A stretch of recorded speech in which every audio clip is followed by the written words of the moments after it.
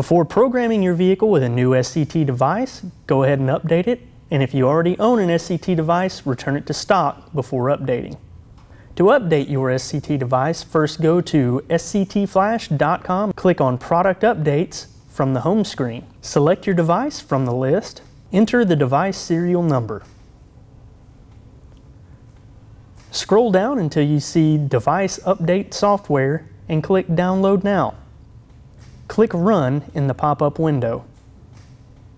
Click Yes in the next pop-up window.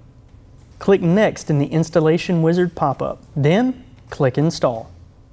Click Finish. With the updater software installed, plug the supplied USB cable into the device and then into your computer. Open the SCT Updater. Click Yes on the pop-up if it appears. Click Automatically Check for Updates. If the device needs to be updated, click Update Device.